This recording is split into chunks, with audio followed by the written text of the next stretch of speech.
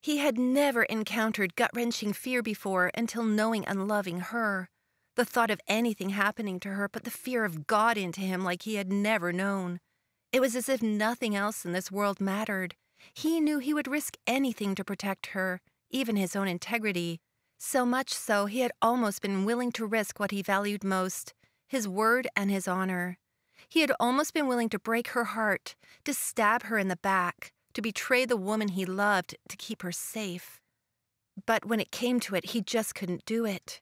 Even now, he didn't know if he was going to do it for her or if he just had more selfish motives of running away with her and having her to himself forever.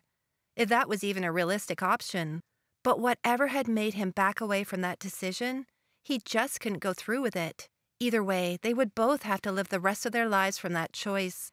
He just hoped he had made the right one. As the night was setting in, he was sweating now in spite of the cold, with concern over what might have happened to her. He was now torn between waiting there and going to find her.